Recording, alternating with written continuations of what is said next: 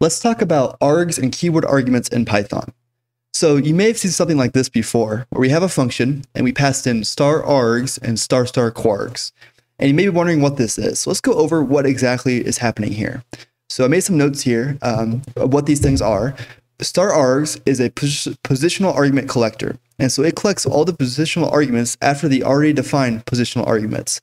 If this part doesn't make sense, don't worry about it too much. We'll get into an example that hopefully will clear that up.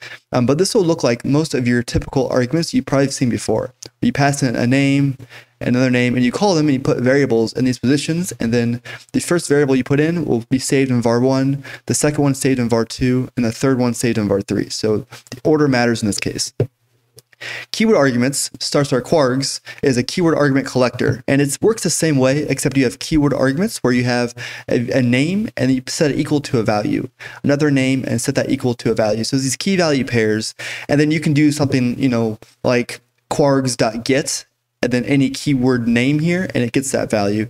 And so in this case, the order, order doesn't really matter. What matters is the key and value pairs you pass in. So that's what these things are. Let's go over some examples about how these actually work.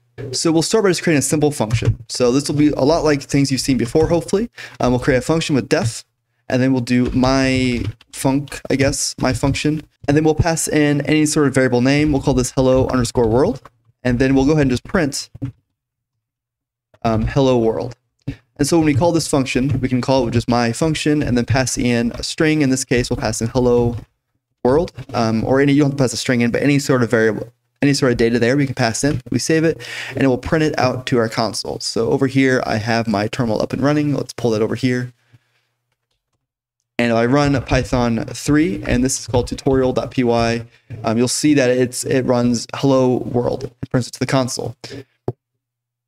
Now, let's go ahead and change this up a little bit. So instead of, of having hello world as our argument, let's pass in star args as our argument, and we'll print out args.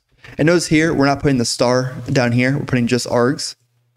We save that. And then we come back to run it again and we run troll again. You'll see now we print out hello world, but we need to grab the position as it's in. So in this case, we can grab star arg or grab args of zero. And then we come back here, we run that again. And then you get our, our argument in the first index here, which happens to be uh, hello world. Okay, perfect. So that is how you can set up these arguments and it collects all the arguments. So if we want to put more than one argument, um, so let's go ahead and split this up into two different arguments. Uh, we can do hello and then put world as a separate argument. And then down here, we can print, um, actually, I'll put it in the same line here. I'll print out args and args and the one position as well. And I'll come back here, I'll run this again, and you'll see now we get hello world once again. Okay, and so that is kind of how positional arguments work. Um, but in this last part here, you notice that we said uh, collects all positional arguments after the already defined positional arguments. So we can still define other arguments here in front. We'll do var1 and var2. And now if we add some other things here, uh, we add um, ABC, uh, D, E, F, like that, and we print this out, you know, what are we going to get? Well, when we print this out, we still just get hello world. Well, why is that? That's because these two positional arguments are being set uh, to these two values, and these are not included in our collector because we've already defined them separately. And so only the hello world is coming back. If we came under here and then we printed out uh, var1 comma var2, and then we come back here and we print that out, that out, we get the ABC, D, E, F. So they're saved separately. So we don't combine them all. They're not all in here, but just the ones not already defined. Um, hopefully that makes sense. It's just any additional positional arguments after the already defined positional arguments, in this case, var1 and var2. Let's go ahead and take a look at keyword arguments now and some examples there. So if we go to def and we create my function 2, we'll say, and we'll pass in star star kwargs. And then down here, we'll go ahead and print kwargs. And let's take a look and see what we get. So we call this function my function 2, and we pass in um, some keyword arguments. So we'll do hello equals world. And now let's go ahead and uncomment out this function call just so we keep our terminal a little cleaner. Um, and I'll go ahead and clear this out here. Now we run this file again. We get a dictionary with the key of hello and a value of world. And so we can use that like any other dictionary. So we can print kwargs dot get, and then pass in the key. In this case, the key is hello. Hello. And then we come back here and we run this. And what we get, we get world. So we can pull out arguments that way. And if the argument happens to not exist, it will just return none. So we change that to h equals world. Um, hello no longer exists in that dictionary. So we run this, we just get back none. So this works the same way as args, except now we're working with keyword arguments. So if we were to pass in a positional argument beforehand, var1, and then kwargs, and then we were to print out um, just kwargs in total, see what we get.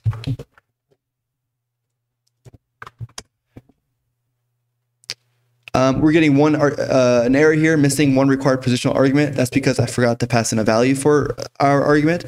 So in this case, since we're defining this this way, um, we need to have arguments there. There's no way of leaving that blank.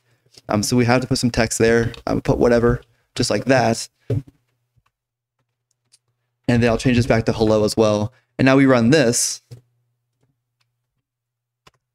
And we get our hello world. We don't get our positional argument because this does not collect um, anything already defined, but also does not collect any um, positional arguments at all, only keyword arguments. Now let's go ahead and put an additional keyword argument in this function here. So we'll just do a text equaling uh, test. We'll save that. Now we run this file again. You notice we get text test hello world. So we get both keys because it collects everything not already defined let's say we want to go ahead and take away this key here and move it up here. So now we're putting an additional keyword argument up in our function. And as you can probably guess, this will not be collected inside of kwargs because we're defining this separately. So now if we come back here and we run this function again to print out the kwargs, we only get hello world because once again, this does not collect all keyword arguments, but only ones not defined before it. Now, a couple here things just to make sure we, we make clear. Um, putting keyword arguments before positional arguments. We did another test equals whatever here. Um, this is not going to work. Um, you cannot put positional arguments in front of, or you cannot put keyword arguments in front of positional arguments. Um, you'll see non-default argument follows default argument. Um, so you don't want to make you want to make sure you don't do that. Um, and you also have to be careful about putting things after kwargs. So I add another var variable here, var2 and I came down here and tried to define something else after it, um, you will get another error saying invalid syntax. So make sure when you write these functions, I go ahead and undo all these changes that are messing it up. Make sure you follow the same pattern where you have star args, and then after that, star star kwargs, and that's at the very end. So if you do use this, make sure this is set like this, star args and then star star kwargs at the very end of any other variables you're setting. Um, that's very important. Otherwise, you'll get some weird errors. Um, so just make sure to avoid any issues. That is how you're writing your functions using these two uh, keywords. Okay, so that's a, good, a quick overview on how exactly these things work.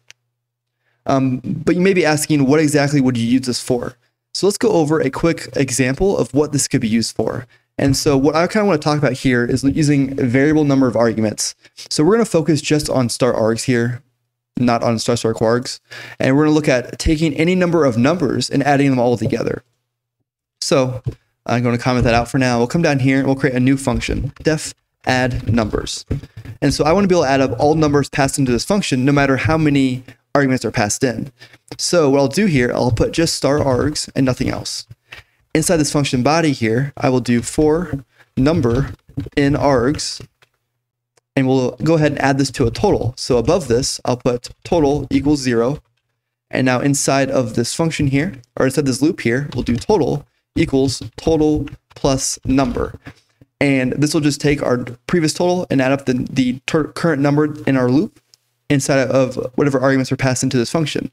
And now we can go ahead and kind of make this a little more concise by instead of doing total plus number, doing total plus equals plus equals number. And that's just kind of a more concise way of doing the same thing, but it means total plus or total equals total plus number. Uh, it does the exact same thing. And now here at the very end, we'll just go ahead and do a return total. And that should return our total um, after it's all added together. Let's go ahead and call this function now. So we'll do add numbers, and we'll pass in just 1, 2, and 3. So if you take 1, 2, and 3 and add them together, you should get 6. We save this. We come back here to our terminal, just clear this up for now and make it a little easier. We run this. Oh, I forgot to print it out. Let's make sure we print this out. Uh, we'll print add numbers. If we print add numbers, come back here and we run this, uh, we get six.